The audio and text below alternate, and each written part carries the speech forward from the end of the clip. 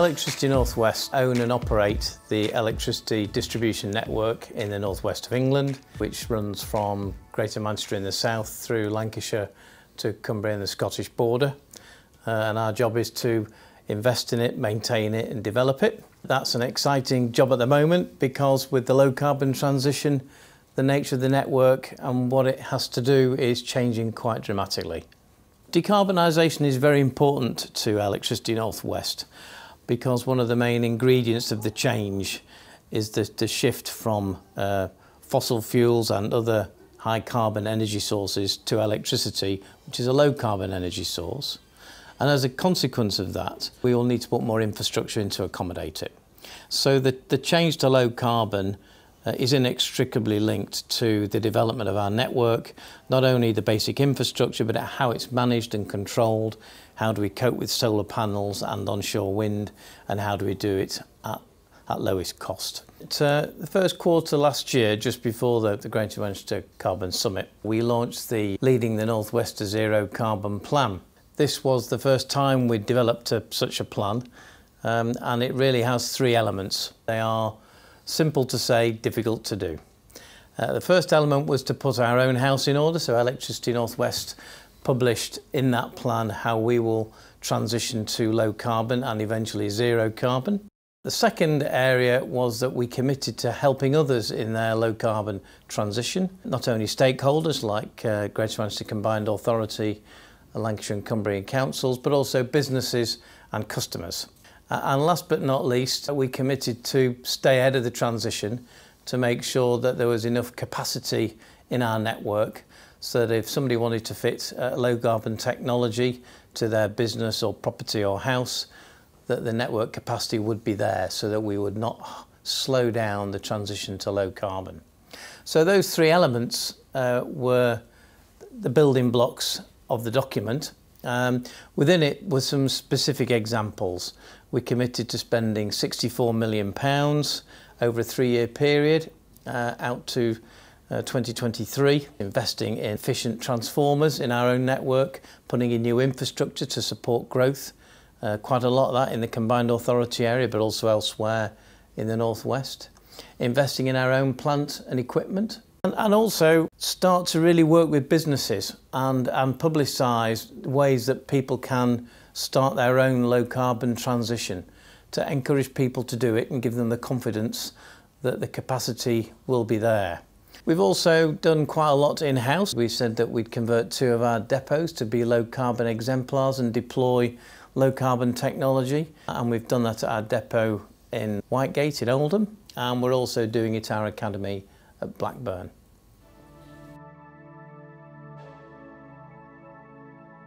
The projects in Greater Manchester are there to really facilitate growth. Um, as everyone is well aware, the centre of Manchester is, is a dynamic and growing place. Um, and what we're finding is that the demand for electricity is, is changing and growing. Um, so several of the projects are in the city centre and what they do is they provide more network capacity through new substations, new primary substations, but also we put in more cabling, which gives us more options to route electricity around the city centre so we can increase capacity at low cost. We're also investing in additional capacity to support enterprise zones and growth areas such as the airport.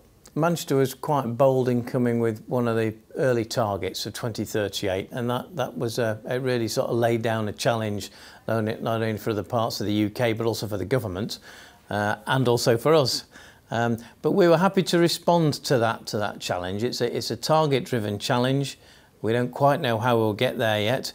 But it's interesting, even over the last 18 months, part of the, the jigsaw to get from where we are to where we need to be at zero carbon in 2038 is now a lot clearer.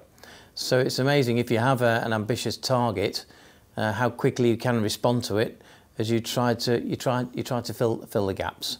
And I think uh, one of the things that Manchester's taught us is that um, if you're bold and you really try to uh, meet people's aspirations, it's amazing how quickly you can make progress if you collaborate and work together.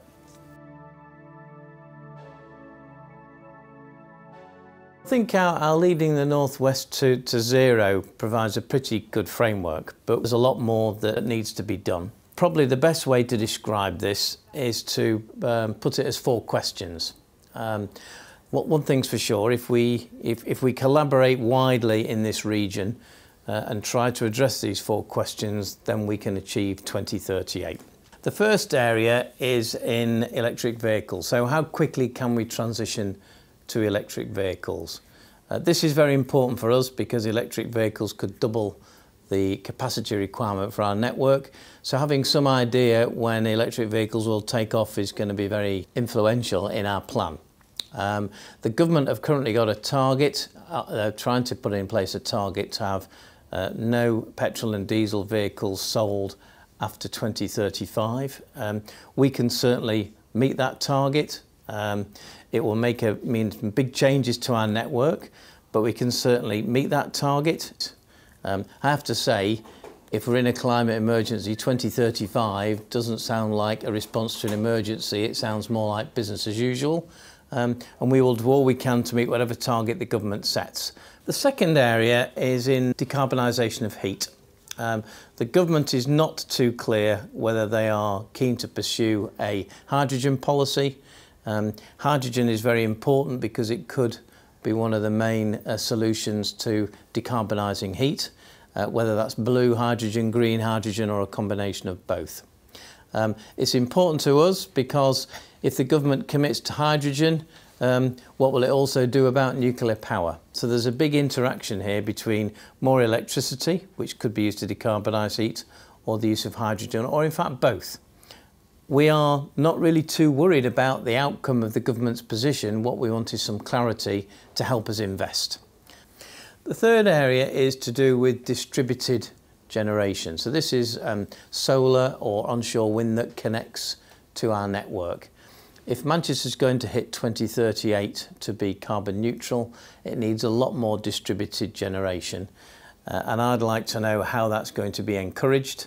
Um, and when we've got some feel for how that is going to be encouraged and what the take-up is going to be, we'll then need to make sure that we can accommodate it on the network. There are barriers at the moment that need to be removed, which have unintended consequences. One of the barriers today stopping businesses and uh, particularly investing in distributed generation is that when you invest in uh, solar panels, um, your business rates go up which then is a clear disincentive to invest in the first place.